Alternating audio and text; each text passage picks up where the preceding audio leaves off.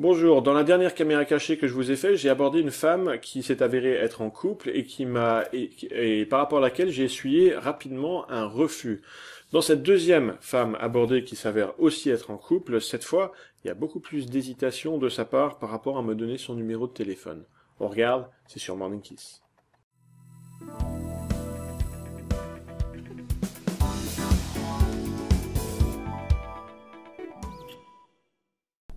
Bonjour, ici Alex Wagner, je suis coach certifié, formé à la PNL et expert en relations hommes-femmes. J'ai fondé l'Institut du coaching amoureux Morning Kiss pour accompagner les hommes et les femmes qu'ils souhaitent pour prendre en main leur vie amoureuse.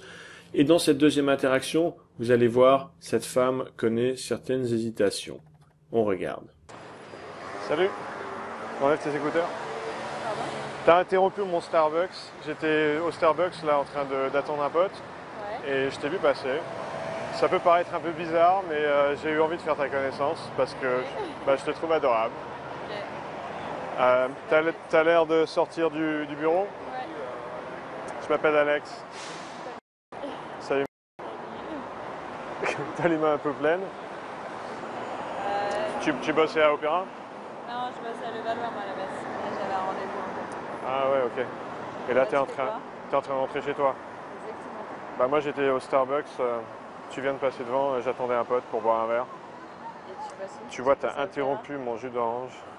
Moi, je bosse un peu plus au nord, euh, sur Lafayette, juste derrière. Tu m'as dit ton nom? Marie. Qu'est-ce qui se passe d'accident dans ta vie, Marie? Alors, En fait, j'ai un copain, donc ça me gêne un peu, déjà. Ah merde Mais tu sais, moi aussi, j'ai plein de copains. Oui, non, mais bon. ouais, c'est taquine. T'es es avec lui depuis combien de temps? Fait deux ans. Ah ouais, sérieux. Et ça fait comment du coup d'avoir d'avoir trouvé le mec de ta vie avec qui tu vas passer le restant de tes jours Ouais. Je me pose pas de questions, on va dire. Ouais. T'as quel âge? Je te donnerais euh, Je vais mettre les pieds dans le plat, mais à mon avis, tu as 25 ans J'ai 23. Ah ouais. Ok. Tu jeune encore. Ouais, ouais. Bah, tu sais quoi euh, je, comprends, je comprends que tu es un mec. Et du coup, qu'est-ce qu'on peut faire? Euh, Je te propose, j'aimerais bien prendre un verre avec toi, histoire qu'on se connaisse un peu. Moi, je sais que tu es un copain, donc euh, voilà, on, se comprend bien. Et genre après le boulot, tu es parfois dans le coin ou? Pas forcément, mais je passe par cette station. Ouais, donc c'est pas trop dur. Je pense que je vais pas trop me foirer l'orthographe. C'est pas à l'anglaise avec un Y? Non. Ok. Voilà. Non mais je pense que ça sert pas à grand Bah disons que je me dis qu'on se connaît pas vraiment encore. Euh, donc euh, comment tu peux savoir en avance si ça va servir ou pas? Mais tu sais, à ce stade, je te promets rien, je te promets on, on juste, de, juste, juste de la bonne conversation euh, en, moi, en, after work. Euh. Ah, mais je préfère pas, je crois que tu prennes le numéro et qu'il y ait deux échanges qui servent à rien. Et ouais. Bah, je veux dire, je vais pas t'appeler le soir parce que tu seras avec lui. Non, mais bien sûr, mais il faut pas que tu le prennes personnellement. Ah non, je le prends pas personnellement. je, je, comprends que t'es un mec, y a pas de souci. Voilà. Ok. Bon, bah, bah, je te libère alors. Bye Marie. Alors je vais vous commenter rapidement ce qu'on a vu. D'abord, cette femme marchait rapidement, elle avait les écouteurs dans les oreilles, simplement je l'arrête et je lui demande de, retirer ses écouteurs. Ça n'a pas besoin d'être euh, une barrière et n'oublions pas qu'il y, a autant d'hommes que de femmes typiquement qui portent des écouteurs dans la rue, donc c'est absolument pas un signe qu'une femme ne veut pas être abordée. Ça n'aurait aucun sens puisque les hommes en portent aussi. Ce que je fais en l'abordant, c'est que j'explique rapidement la situation, et après je lui dis, bah oui, je, sais, ça peut paraître bizarre. Et en disant que mon mode de rencontre peut paraître bizarre, je montre que j'ai un minimum d'intelligence euh, sociale et que je comprends que aborder dans la rue euh, ne se fait que relativement rarement, donc c'est plutôt rassurant. Ensuite, je fais ce que j'appelle une supposition générique, c'est-à-dire une supposition bateau qui pourrait s'appliquer à n'importe quelle femme euh, qui, qui passe par là, Pourquoi je dis quelque chose d'aussi... Alors, en l'occurrence, qu'est-ce que je lui dis? Je lui dis, j'imagine que tu viens de sortir du travail. Bah oui, euh, on, était à peu près à 18h dans un, dans un quartier d'affaires.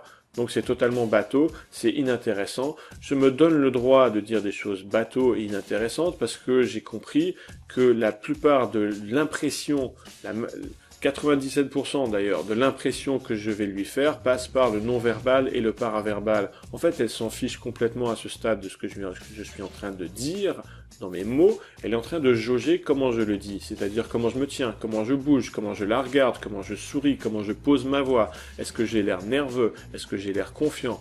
Est-ce que j'ai l'air assumé et assuré? Etc. C'est ça qui compte. Et quand on se donne le droit de dire, de baisser nos propres attentes par rapport aux mots qu'on va dire, bah là on, ne tombe plus en panne de conversation parce qu'on comprend que la communication passe entre les lignes dans une rencontre. Euh, alors ensuite, je me présente. Notez que je ne demande pas son prénom, je me présente à elle, c'est-à-dire que je rentre, je prends ma place et je rentre dans sa réalité en lui disant voilà, je m'appelle Alex et je lui tends la main et bien sûr, par réflexe, elle me dit son nom en retour et elle me tend sa main en retour. Et là, euh, il y a des signaux d'intérêt qui commencent à venir. Euh, c'est-à-dire qu'elle me pose des questions. Euh, elle me demande ce que je fais là. Elle me demande où est-ce que je travaille. Donc c'est plutôt encourageant. Quand vient, et ça vient relativement rapidement, son objection qu'elle a un copain, bah je fais deux choses. Simplement, je, d'abord, je me montre inaffecté en faisant une petite blague. Alors les blagues qu'on peut faire, c'est par exemple, euh, ah bah t'as un copain, moi aussi j'ai des copains.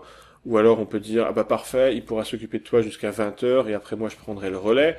Bon bref, peu importe, c'est pour montrer qu'on est inaffecté. Parce que la plupart des hommes, euh, quand ils entendent l'objection du copain, eh ben ils s'écroulent, ils s'effondrent, ils se brisent en mille morceaux et l'interaction est terminée. Et c'est souvent dommage. Euh, alors, ensuite, je sonde bien sûr sa relation, en demandant comment ça fait d'avoir trouvé l'homme de sa vie avec qui elle va passer le restant de ses jours, et elle me dit, ah bah, je me pose pas trop de questions. Et ça, je prends ça comme un, feu vert, ou du moins un feu jaune, pour euh, continuer mon chemin. Euh, et j'ai l'impression à la fin qu'elle va me donner son numéro de téléphone, mais finalement, elle me le donne pas. Euh, ça se respecte. Je n'insiste pas parce que là, de toute façon, euh, j'avais fait ce que je pouvais pour avoir son numéro de téléphone, c'est-à-dire que je lui ai pas demandé sa permission. J'ai rentré son prénom dans mon téléphone. Elle a vu que je l'avais rentré, donc ça pouvait lui communiquer que cette prise de numéro était déjà en train de se faire et qu'elle avait donc donné son accord, malgré euh, cette persuasion-là, cette technique d'influence, on va dire, elle ne le donne pas, donc je respecte parfaitement son choix, il n'y a aucun problème. Tout, ce que je peux faire à ce stade, c'est lui proposer un rendez-vous, et là on sent bien la dynamique euh, ancestrale de l'homme qui propose et la femme qui dispose. C'est très bien illustré dans cette caméra cachée. Voilà, la prochaine fois, on regardera une interaction dans laquelle, malgré avoir un copain, elle me donne son numéro de téléphone, et on, et on verra donc les trois variantes possibles par rapport à une femme qui, a un copain. En attendant, vous pouvez vous abonner à la chaîne, n'oubliez pas, pour recevoir une nouvelle vidéo chaque matin. Et juste en dessous, il y a un bouton pour aller vers le site web morningkiss.fr pour aller plus loin avec nous, soit avec des programmes de formation digitaux, soit avec des ateliers pratiques qui se passent à Paris ou dans d'autres villes de France. Et vous avez deux vidéos suggérées pour rester sur cette chaîne à naviguer. Sur ce, je vous dis à bientôt. Au revoir.